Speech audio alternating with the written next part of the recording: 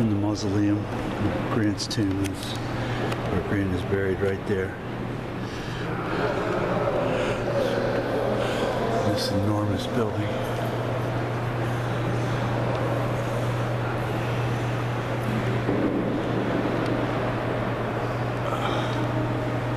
Various paintings. Not sure I like that one, but it's there.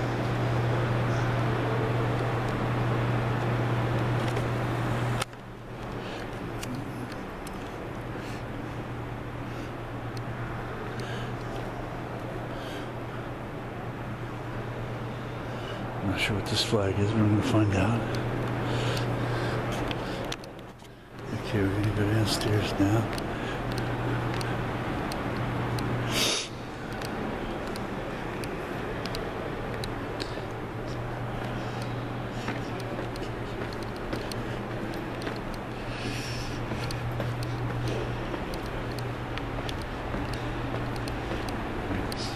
Mausoleum is what they call this area.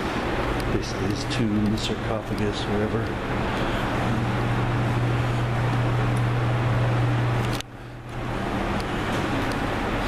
Not, not a great president, but one of our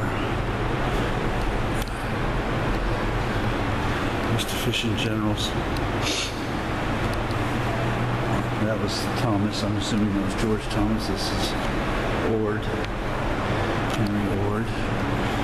These are all Grand Army of the Republic guys. This is Sherman.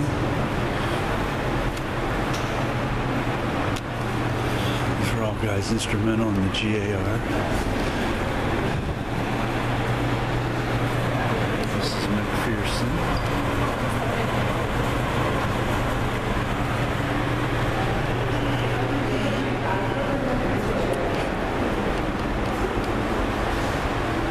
Sheridan.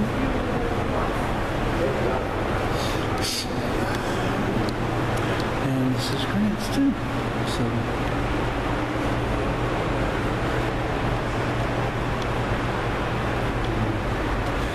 trying to try to real quick here.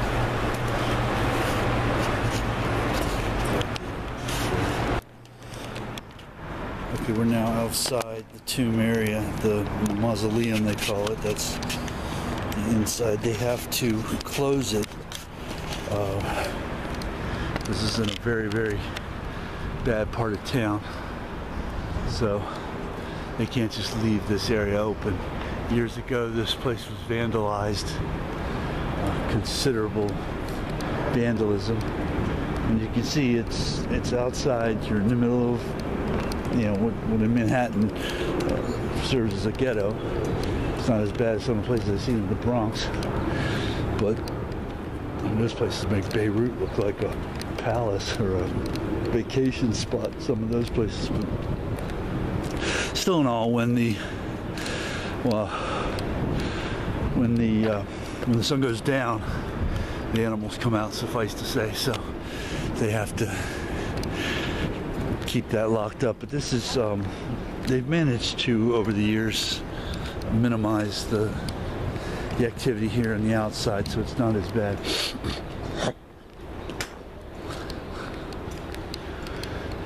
It's amazing because this is right, you know, a couple blocks from the river, and normally those type of that type of real estate is uh, more or less very expensive, um, but not Really not here. I just came all the way from the east side, which was I was about a block away from the river there, and I thought I was in thought I was in the Bronx. I mean, it is really really bombed out. But we're gonna photograph this some more, and I don't think I really need to go into the who's and whys and everything of who Grant was. Pretty much everyone knows that at least the school book version, they can pretty much figure out the their textbook, the real version, not the textbook version, the real version, the the real man with all the flaws. Oh, one bless not that's not a couple blocks, right on the river. I didn't know that. That's interesting. So we're right on the river here. uh, oh, there's a really neat church I'm going to go check out when I'm done here. After the visitor center, I'm going to check out the visitor center first. But typically, as with all men, their story is more than the sum of what can be found in a few textbooks. So,